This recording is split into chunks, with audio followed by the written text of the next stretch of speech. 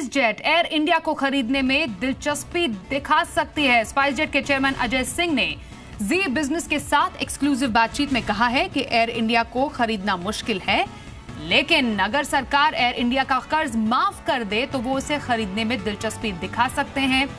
आपको बताएँ कि सरकार एयर इंडिया को बेचना चाहती है, जिसके लिए सभी संबंधित मंत्रालयों से सुझाव मांगे गए हैं। एयरलाइन को प्राइवेट करने की बात हो रही है उसमें डिसइन्वेस्टमेंट का भी ज़िक्र हो रहा है मैं ये समझना चाहूँगा कि ये कितना हेल्दी साइन शो करता है और ऐसे में जब उसके ऊपर बोझ ज़्यादा है तो क्या कोई भी डोमेस्टिक प्लेयर स्पाइस जेट भी उसमें एक शामिल है क्या उस अगर डिसइन्वेस्टमेंट होता है तो क्या उसमें अपनी रुचि जताएगा अगर स्ट्रक्चर ठीक हुआ अगर डेट को सरकार कुछ माफ़ करे हम्म। और फुल मैनेजमेंट फ्रीडम दे तो मुझे लगता है कि इंटरेस्ट ज़रूर होगा, क्यों नहीं होगा?